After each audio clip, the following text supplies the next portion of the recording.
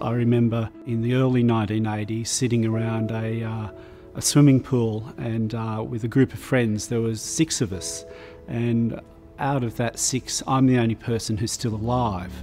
Um, at least four of those people died in the early years of the HIV epidemic.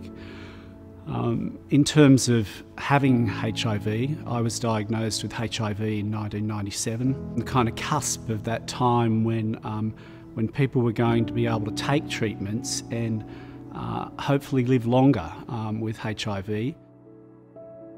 It's a very manageable illness, if, particularly if it's diagnosed early and people get onto immediate treatment. I took quite some time to go onto treatment, and that was my personal decision in conjunction with my doctor. But that was simply because I'd watched my husband go through a variety of medications, some of which worked, some didn't, the quite horrendous side effects at the time, and that's a product of having been in that time and place.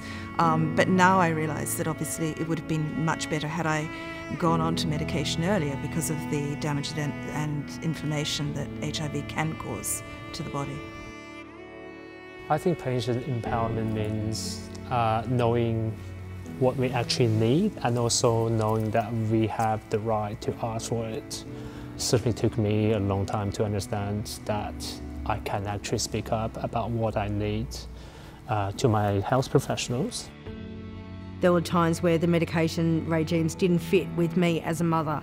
I needed to make sure that whatever treatment regime I was on, it needed to fit within my lifestyle of being a mother first. It was about having the conversation with my doctor, yeah, um, and talking to him about the impacts of what the medication was doing to me. I think the uh, care and management of people living with HIV has improved and uh, we now have a system where there are uh, specialist doctors who look after our HIV treatments. Uh, there's uh, a lot of people who are now trained in understanding how to manage HIV as a disease. It's about breaking down the stigma and the barriers um, and making sure that Aboriginal people have access to the right sorts of treatment and talking about treatment, you know, the uptake of treatment, how important it is to stay on your meds.